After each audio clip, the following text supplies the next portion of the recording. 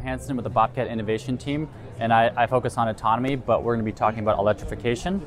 Uh, and really, what I have behind me here is our brand new concept vehicle, the Rogue X, which is based upon our all electric platform.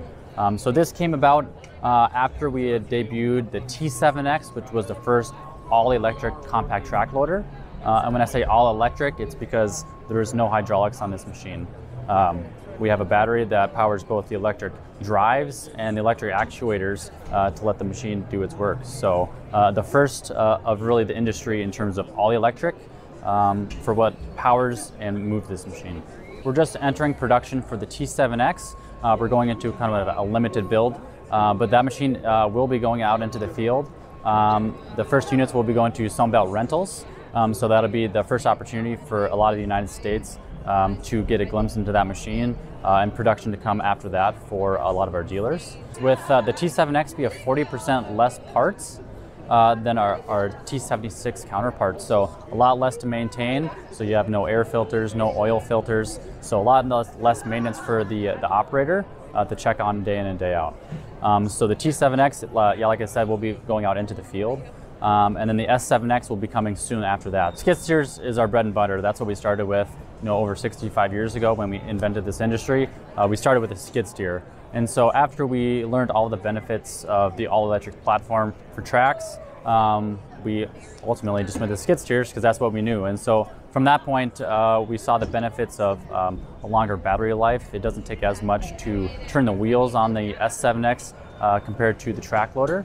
Um, so you get a little bit more time out of the S7X um, compared to the T7X. So when we, we took on this project and we challenged ourselves, uh, we kind of did a, a, double jump in terms of what electric means for Bobcat. And you know, we could have put a battery inside the machine and powered our hydraulic system, uh, but we wanted to maybe step above that and see what all electric could mean. And so with these actuators, we get a lot of power and it's instantaneous torque. So, you know, the performance of the, uh, the actuators in terms of lifting and tilting and digging, uh, you get a lot of power out of this machine. I would say the first challenge that, that we took was um, having the performance meet that of our diesel hydraulic. And what I mean by that is making sure that the operator can get into the machine and it feels like something that they're used to.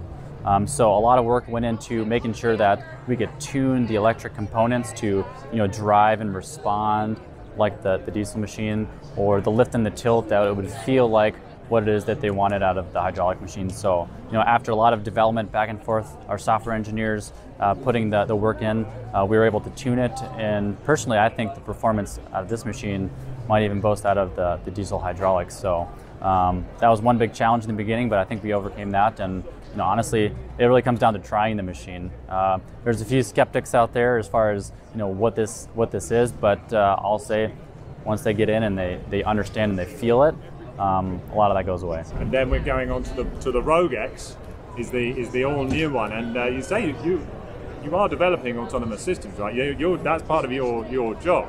Correct. This is not an autonomous vehicle yet. No, it's uh, it's just the start of uh, what we're concepting in terms of the all-electric platform for a cabless unit. And so with this unit, uh, I would say it, it, enables all the features that we're going to be using for an autonomy platform. Um, so we'll operate this remotely, and then we'll start to be able to add on other sensors, uh, like our, our brand new radar sensors that we're also debuting, uh, and then other technologies for perception, uh, GPS, things of that nature. So then we can start to get into those areas where autonomy comes into play.